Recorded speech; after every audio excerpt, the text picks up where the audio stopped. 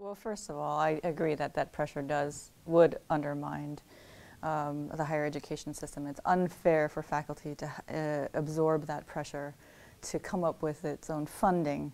I think that, well, it, when elected, I would support uh, certain um, proposals, congressional proposals, uh, that would lower tuition costs and streamline loan processes for students. Um, subsidized tuition, because that's a significant source of income, and 80% of the students at the university are on federal aid.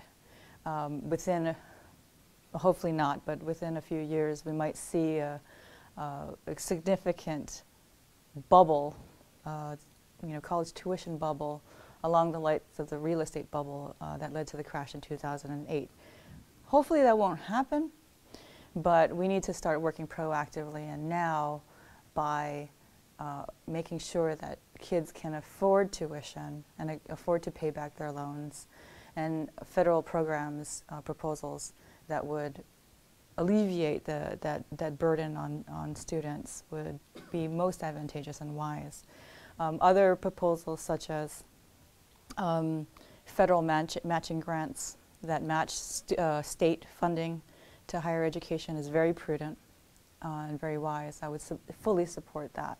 What I would not support is um, implementing an accountability system uh, that seems sounds like a, a lot like a, a, common core for higher education uh, that's based on a results corporate a results model I don't think that's fair. I don't think it works for secondary education, and it creates a lot of problems, especially because it doesn't involve the input and involvement of academics uh, in that process of adjudicating what is, uh, what works and what doesn't.